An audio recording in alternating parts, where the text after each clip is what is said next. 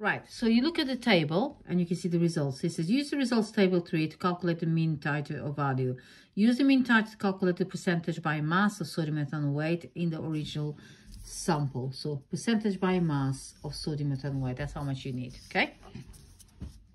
Now the first thing you need to work out which titers we're going to use. So you need to go uh, to concordant results. So you can't use the rough, the rough value, so you have to ignore that.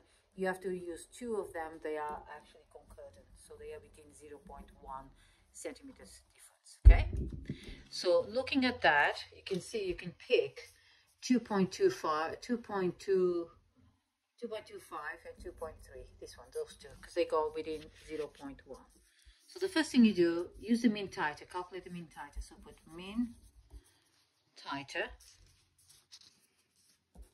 mean titer equals to um, 20.25 plus 20.30 divided by 2 if you equal that to 20.7 uh, 275 275 centimeters. So you got the mean titer of this this uh, question first. Now the next bit to do is that once you have the moles of ethanoic acid present you work out the MR of ethanoic acid.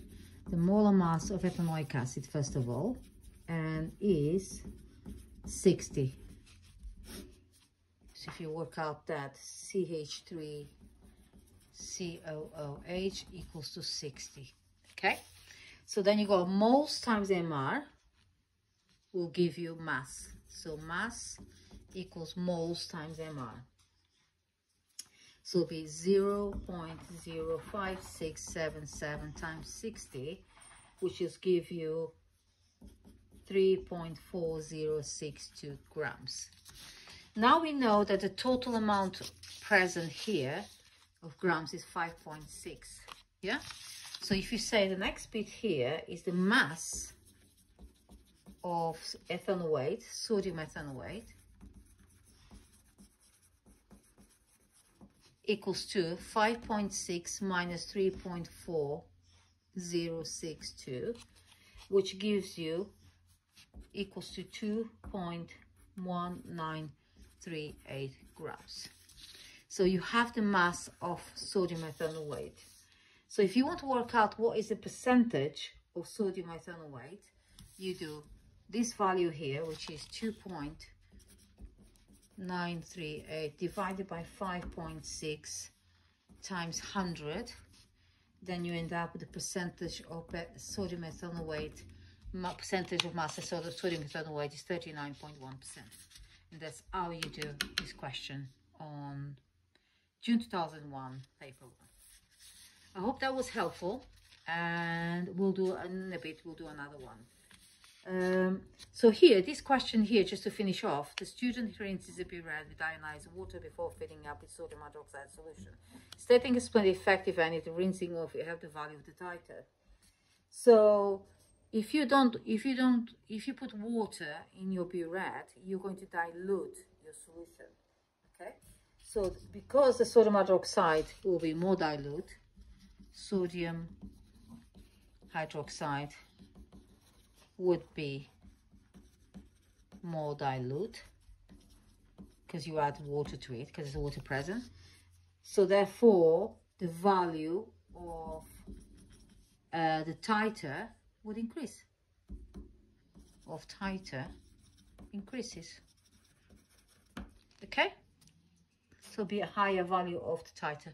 So that's how you answer that question. I hope that was helpful. Thank you. Because the ratio ethanoic acid and sodium hydroxide is 1 to 1, because you only got one hydrogen each, so the moles of ethanoic acid is the same, ethanoic acid is the same as the moles of sodium hydroxide. So it will be equal to 0 0.0070965 moles. Okay?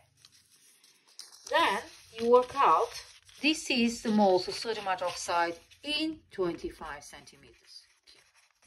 Now, how much is in 200? Okay? This is the whole there looks 200. So if you in 25 centimeters is how much is in 100? So in 200, it's going to be, say, uh, it's going to be one, uh, so this is in 20, how much is in 200?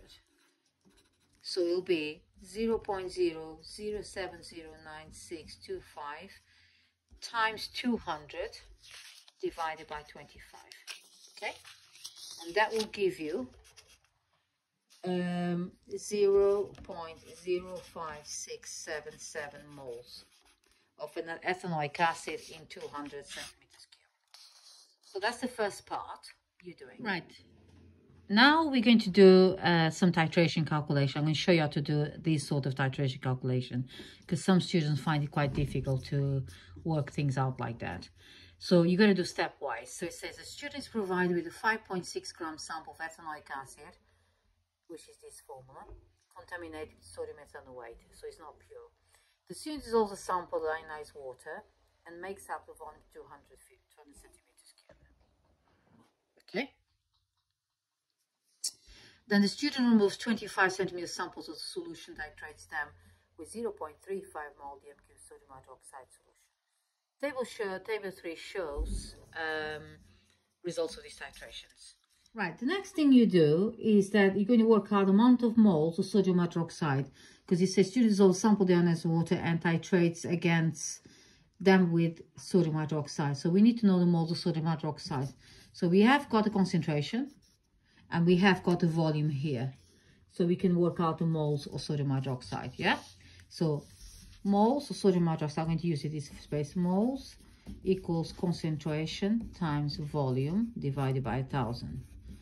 The reason we do volume divided by a 1,000 is because volume is in centimeters cube and you have to change for the uh, cube to match with the concentration, okay?